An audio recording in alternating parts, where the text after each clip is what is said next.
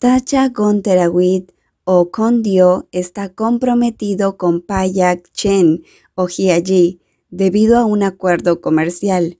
Los beneficios mutuos conducen a un contrato de matrimonio entre los descendientes directos de los líderes de los clanes de dos familias. El líder del clan de los Chen era un comerciante chino que viajaba a Tailandia para vender mercancías. Tuvo la oportunidad de hacer negocios en el extranjero, que dirigía un negocio de importación de automóviles en el primer periodo de Siam, en el quinto reinado donde la realeza y los nobles se interesaron por los automóviles. Después de varias generaciones, los Chen decidieron fundar oficialmente una empresa privada de importación de automóviles. El concesionario de automóviles Chen dominó posteriormente el mercado del negocio de importación de automóviles en Tailandia, desde entonces hasta la actualidad. Las familias chinas son grandes, la historia de luchas familiares por la herencia que casi los lleva a ser derrotados por la economía hizo que el líder de la familia de una generación iniciara la política del hijo único. En la íntima generación, el magnate solo tiene un hijo, Payak, a quien ha arreglado para que se comprometa con Tacha Gonterawit. La negociación del compromiso comenzó cuando Tacha Gonterawit era joven el joven maestro educado en la Academia de Clase Mundial, con modales perfectos y un rostro encantador, fue adorado por todos. La forma en que hablaba el joven maestro era adorable. Era aún más lindo cuando se hacía llamar Non Dio. Con Dio era el precioso hijo del presidente de la empresa nacional de importación de autopartes, pero no era el hijo único. No lo habían enviado a estudiar Inglaterra porque fueran acomodados. La razón era que no podía llevarse bien con la nueva familia de su padre. La madrastra de Condio no era una bruja cruel como la de los dramas. Sin embargo, la nueva esposa de su padre lo trató con indiferencia a propósito. Los hermanos de aproximadamente la misma edad se hacían a un lado cada vez que se acercaba con Dio. Su hogar, que solía ser cálido y amoroso, se convirtió en un lugar donde no era deseado. El niño de siete años no podía soportar el mundo de los adultos. Las preguntas sin respuesta llevaron al lindo Condio a ser un niño travieso. Es mío. Condio una vez le ofreció este juguete a su hermanastro, pero ese día se levantó y se alejó. Entonces, ¿por qué jugó con ese juguete en secreto hoy? Si no lo quería, no tenía que jugar con él. Si lo hubiera querido, debería haber preguntado primero. Condio fue regañado por su padre por hacer llorar a su hermanastro. En lugar de castigarlo, su madrastra fijó su mirada de reprimenda en él mientras sostenía a su hijo llorando. El corazoncito de Condio dolía al pensar que su padre ya no lo amaba. Nadie lo amaba. En la infancia de Condio odiaba quedarse en casa.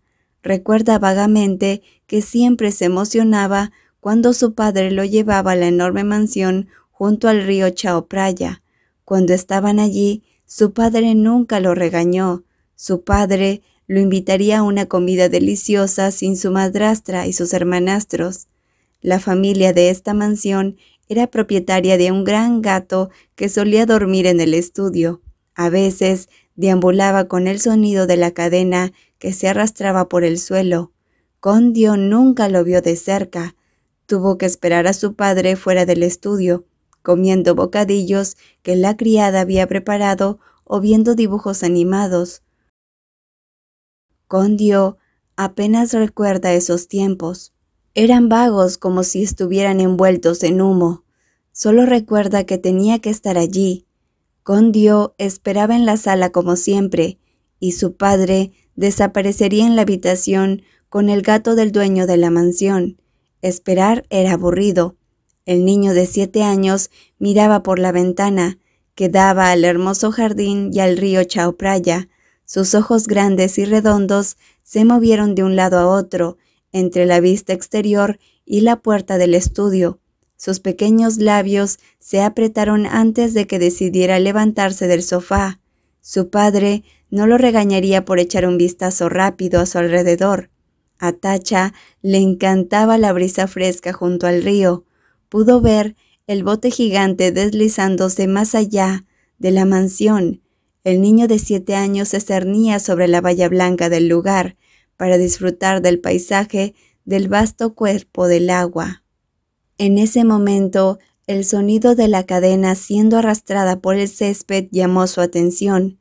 El vago recuerdo se hizo más claro cuando vio al gato, el gran gato marrón amarillento que a menudo vislumbraba en el estudio del dueño de la mansión. Estaba parado a unos metros de distancia en el césped. El final de la cadena no estaba asegurado a nada. No miau. Con una amplia sonrisa, Condio dejó de mirar el río y caminó hacia el gato. Su maestra en la escuela le dijo que a los gatos les encantaba que le rascaran la barbilla. Quería rascarle la barbilla, pero el gato era más grande que los que había visto. El gato parecía estar a la altura de Condio. Juguemos juntos. Mi nombre es Condio. ¿Tienes un nombre? No un miau. Una sonrisa se dibujó en las mejillas esponjosas de Condio cuando el gato se acercó. Cuando el gato se acercó, pensó que era demasiado grande para llamarlo Non. Finalmente, su pequeña mano tocó el pelaje corto y suave del gran felino. Buen chico, miau miau. Non dio. El rugido de su padre congeló la pequeña mano. Su hermoso rostro se sorprendió cuando el gran felino se abalanzó y lo derribó en el césped. Las patas peludas del gato estaban sobre el cuerpo de Condio. Luego su boca con hileras de dientes blancos se abrió, mostrándole su lengua roja. De pronto se escuchó un estallido. La sangre carmesí brotó por todo el cuerpo del niño de siete años. Sus grandes ojos redondos se abrieron como platos ante la cabeza borrada del gran felino, antes de que el enorme peso lo aplastara. Tacha Conterawit se despertó con la memoria perdida y fue enviado a Inglaterra de inmediato. Con Dios se despierta sobresaltado en medio de la noche debido a la pesadilla que lo persigue desde que era joven. A menudo sueña que pasea por el jardín junto al río y un puma le salta encima. A veces se despierta entonces. Además, el sueño a veces se prolonga hasta que el puma recibe un disparo y su sangre brota por todo el cuerpo. A veces llega al punto en que la figura sombría que sostiene el arma aparece en lo más lejano de su visión. Intentó distinguir la cara muchas veces, pero siempre se despertaba primero. No hay nada más que eso, por lo que este sueño es simplemente una pesadilla típica que se repite repetidamente cuando está dormido. El padre de Tacha dijo una vez que fue un trauma de su infancia, cuando visitó la mansión de un amigo de su padre, que tenía un puma, y se asustó hasta perder el conocimiento. Sin embargo, en sus sueños nunca sintió que le tuviera miedo al puma. Estaba sobresaltado por su salto. Ahora no está seguro de si fue una conmoción por el salto o el disparo mortal. Su delicada espalda está empapada en sudor. Se pasa los dedos delgados por el pelo mojado y sale de la cama. Tan pronto como la luz se enciende, suspira. El reflejo en el espejo lo muestra con el ceño fruncido. Su cuerpo está empapado y parece aterrorizado como si estuviera al borde de la muerte.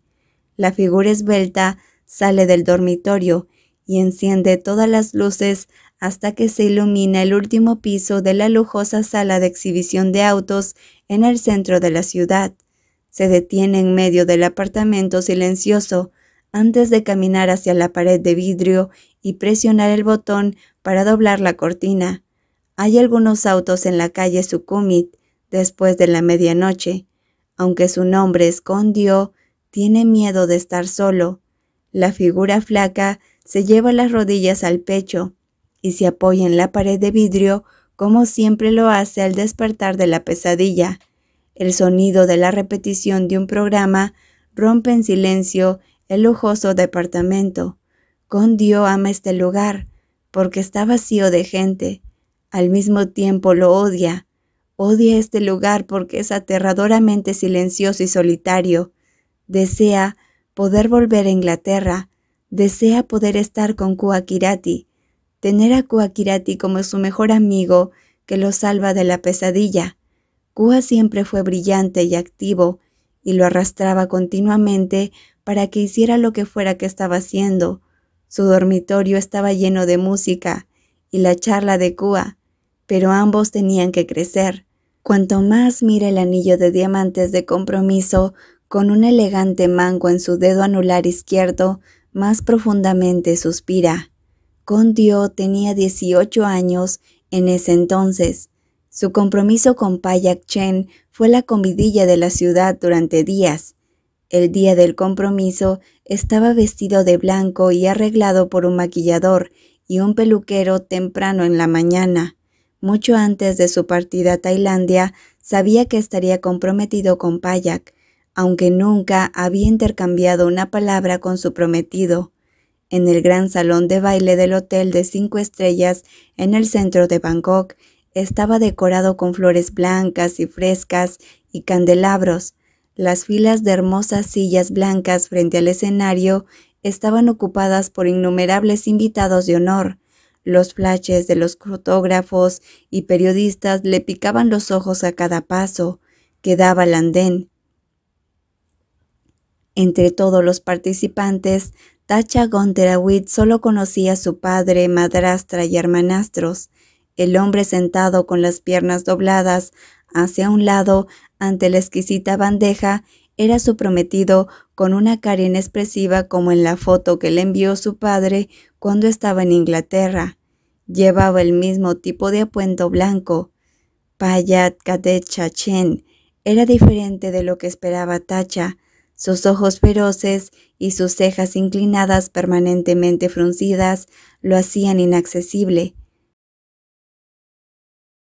Condio nunca antes se había asociado con alguien, así que Payak le daba tanto miedo que no podía mirarlo a los ojos.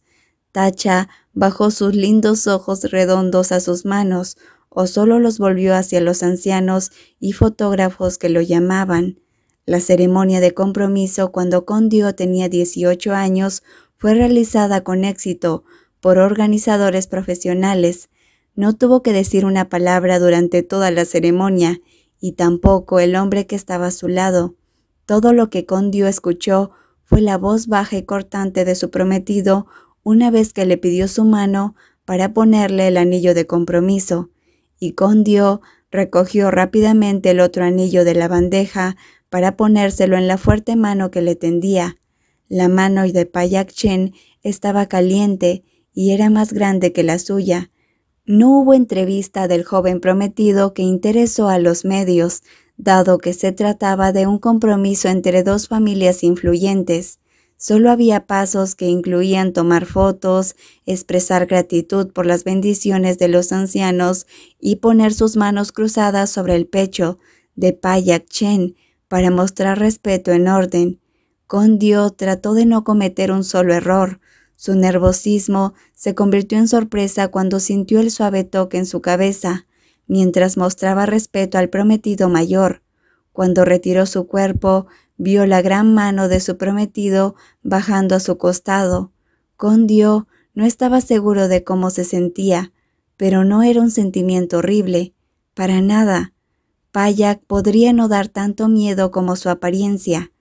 La ceremonia de compromiso fue seguida por la conferencia de prensa, en la que Payak asumió el cargo de presidente del concesionario de automóviles Chen e inauguró oficialmente el nuevo circuito de Fórmula 1, el más grande del sudeste asiático. Condio se sentó en el sofá a un lado, mientras escuchaba la voz baja de Payak presentando su visión en su primer día como presidente y explicando el proyecto de desarrollo para el circuito de Fórmula 1 para que fuera la fábrica de Fórmula 1 en Tailandia. Payak estaba muy lejos de su alcance, como si perteneciera a un mundo diferente. Si no hubiera sido por el anillo en su dedo anular izquierdo, Condio había pensado que estaba soñando. Para un adolescente de 18 años que se había graduado de la escuela secundaria en menos de un mes, el proyecto por valor de millones de bats sonaba tan épico que su corazón latía con fuerza. Cuando Payak terminó su discurso, hubo una estrepitosa ronda de aplausos. Condio dio un paso adelante para ser fotografiado a un lado nuevamente. Luego la ceremonia de compromiso había terminado. La preocupación y la emoción de Condio por no tener idea de qué decirle a su prometido se desvanecieron en el viento, ya que Payak sacó a sus guardaespaldas del hotel tan pronto como terminó la ceremonia formal. Condio se quedó en la lujosa suite con piscina privada y una vista de 180 grados de Bangkok. Los medios publicaron los artículos de la ceremonia de compromiso de ensueño. Dos familias influyentes se unieron como el destino. La imagen del hombre frío de clase alta poniéndole el anillo al chico más joven se parecía a la escena de una novela romántica. Detrás de todo eso, Tacha estaba llorando solo en la lujosa habitación de la suite, con las rodillas contra el pecho. Han pasado años desde el compromiso hasta el día de la boda. La ceremonia de boda del próximo mes de Payak Chen y Tacha Gonterawit será la gran ceremonia nacional que muchos esperan. Su amor es tan hermoso como el final de una novela romántica. Dos familias influyentes están a la par tanto en riqueza como en imágenes. Los novios estarán uno al lado del otro, una combinación perfecta. Uno de los novios es el presidente del renombrado concesionario de automóviles del país y propietario del circuito de Fórmula 1 más grande del sudeste asiático. La influyente familia del otro novio es propietaria de la empresa de importación de autopartes. Además de sus beneficios comerciales mutuos, su amor comenzó como uno de los novios tenía solo 18 años. Las glamurosas invitaciones de la boda, diseñadas por un famoso diseñador, han sido enviadas a más de 3.000 invitados de honor, con una nota entre paréntesis de que se niega a recibir sobres con dinero. Han hecho todo lo posible y han derrochado en la preparación. Todos están celosos del futuro novio el futuro yerno de los Chen. Los obsequios y las bendiciones se han entregado continuamente a Chen Mansion, junto al río Chao Praya. El ambiente está lleno de alegría, como si... Su té, señor. Gracias. La dulce voz del miembro del personal en el salón del aeropuerto de primera clase hace que Condio vuelva a la realidad. Su hermoso rostro está visiblemente pintado de preocupación allí debe haber estado despierto porque ya son las diez. Sin embargo, Payak no volvió a casa anoche, por lo que probablemente no tenía idea de que con Dios se había ido. No hay de qué preocuparse. La criada se enterará de su ausencia porque no desayuna ni almuerza como se supone que debe hacerlo. No puede traer a la chihuahua peluda con él, pero ella estará bien. La criada le dará comida, agua y bocadillos todos los días. Todo ha ido bien hasta ahora. Dejó su teléfono y todos los objetos valiosos que le regaló allí en casa. No trajo nada, excepto el anillo de compromiso que no se atrevió a quitárselo. Cuando iba a dejarlo en la mesita de noche, se le rompieron las lágrimas, así que tuvo que traerlo. A allí no le importaría perder un anillo. Debería estar bien mantenerlo. Para allí el anillo no puede significar nada pero significa todo para con Dios. Está a punto de viajar por los continentes con una maleta, una billetera con una cantidad razonable de efectivo y su pasaporte. Incluso Kuakirati, que reservó el boleto y se encargó de todo, no está aquí para despedirlo, por temor a que los Gias se enteren. Tanto Gia Lian como Gia Yi no deben enterarse de esto. Todo lo que con Dios sabe es que comenzará su nueva vida en Suiza. Kuakirati ha reservado un hotel durante un mes para que se adapte al nuevo entorno. Después de eso, se mudará al dormitorio de la universidad, en el que solicitó un curso corto. La visa de estudiante le permitirá a Condio vivir en un país extranjero por un tiempo. Él pensará en el próximo paso después de la graduación. La decisión de ir a Suiza no ha sido un capricho. Condio trató más de seis meses en encontrar una universidad, solicitar un curso y obtener una visa. Todo salió bien, hasta el punto de que pudo reservar el billete de avión. Finalmente, está esperando para abordar el avión en la sala de espera del aeropuerto de primera clase. Es la decisión correcta. Se preguntaba repetidas veces si le entristecía dejar todo atrás, y la respuesta era sí. Claro, estaba triste. De ahora en adelante nunca más se volverían a ver. Él no volvería a ver a los demás. No volvería a ver el ceño fruncido o al hombre molesto con todo el mundo. Aún así, la tristeza lo instó a comenzar de nuevo. Nadie elegiría estar triste para siempre. Condio quería dejar de llorar. El compromiso con Ji llegó con una docena de páginas de condiciones. Condio firmó el contrato por primera vez cuando tenía 18 años y el abogado aclaró cada condición una por una. Su compromiso fue todo por el bien de los negocios. Tenía prohibido entrometerse, interferir, traicionarlos o dañarlos, y tenía que quedarse en su propio lugar. En ese momento, Tacha se dio cuenta. Hiaji no quería casarse con una persona, quería casarse con una muñeca. Con Dios se había olvidado de este hecho durante los últimos siete años, solo por el atisbo de la sonrisa de Hiaji. Cómo volvía a casa con más frecuencia, cómo le trajo el perro y cómo mencionó la boda. Condio creía que fue por amor y que Hiaji finalmente abrió su corazón, pero no. La dulce muñeca de Hiaji descubrió que Hiaji comenzó una relación con otra persona. Se suponía que la boda era para aliviar la presión de los ancianos que lo habían molestado con frecuencia.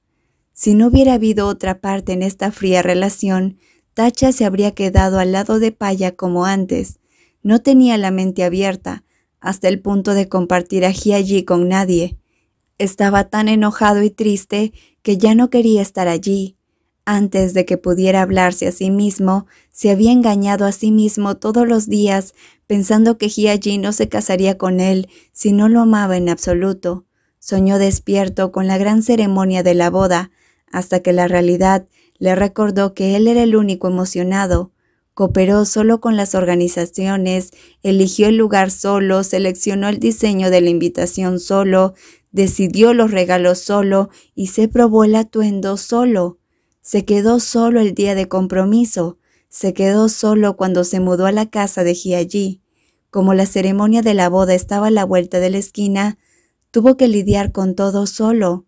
Su nombre escondió, pero eso no significa que quiere estar solo. Es hora de abordar el avión, señor. Oh, gracias. Le da al miembro del personal del salón una sonrisa de agradecimiento para recordárselo. Agarra las correas de su mochila y se prepara para golpear la puerta con el pasaporte en la mano. En unos minutos dejará Tailandia para siempre. Sus delgadas piernas lo llevan hacia el encargado de la puerta de entrada para que le revisen el pasaporte. La línea de primera clase es corta. De repente, el teléfono obsoleto en su bolsillo suena y lo define en seco. Kua le regaló ese teléfono con una tarjeta SIM de datos para su primera estancia en el extranjero. Es una tarjeta SIM prepago y el único que sabe el número es Kuakirati. ¿Ya me extrañas? Ni siquiera ha abordado el avión todavía. Dio, ¿dónde estás? ¿Estás en el aeropuerto? Bueno, lo estoy, frente a la puerta ahora. ¿Dónde más podría estar? No, quiero decir, no estoy seguro si debería decirte esto, considerando que estás a punto de comenzar tu nueva vida, pero, pero yo creo que, que deberías saberlo. La voz preocupada de su mejor amigo hace que su sonrisa se desvanezca. Frunce el ceño antes de salir a la puerta donde están revisando los pasaportes de los pasajeros. ¿Qué ocurre? allí descubrió que viajarías a Suiza y armó un gran alboroto en mi casa. Él parecía tan sorprendido, así que le dije, Dios, lo siento, yo me sentí tan mal por él. Las palabras de su mejor amigo lo sorprenden un poco. Hay una punzada en su corazón. Independientemente, como ha dicho, todo esto no está sucediendo por capricho. Incluso si Hiaji se ha enterado, la determinación de Condio no flaquea. Está bien, una vez que esté allí será difícil para él encontrarme. Para cuando esté libre ya estaré lejos. Hieji es un hombre ocupado. Él también necesita cancelar la ceremonia de boda. Es posible que ni siquiera me siga. Es posible que solo se haya sorprendido por mi desaparición. No, Dio, escucha. Hieji fue al aeropuerto hace una hora. Para para encontrarme, no podrá verme. Estoy frente a la puerta, Kua. Me voy ahora. Su dulce voz tiembla incontrolablemente. Él aprieta su agarre sobre el pasaporte. A pesar de saber que no hay forma de que Hiaji llegue a tiempo, no puede evitar mirar a su alrededor. Esta es la zona de pasajeros. Si Hiaji no tiene boleto o pasaporte, no puede entrar. Además, incluso si puede entrar, el avión habrá despegado cuando llegue a la puerta.